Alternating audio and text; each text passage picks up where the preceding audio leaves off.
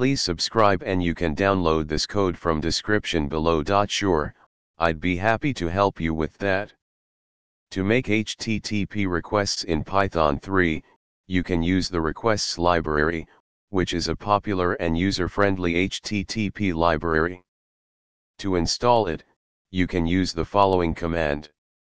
Now, let's create a simple Python script that makes HTTP requests and sorts the status codes. In this example, I'll use the httpbin service for testing, which provides endpoints for various HTTP methods and returns information about the request. You can replace the URL with the one you need for your specific use case. In this script, make sure to replace the example URLs with the ones you want to use. You can also modify the script to handle other HTTP methods or include additional error handling based on your requirements.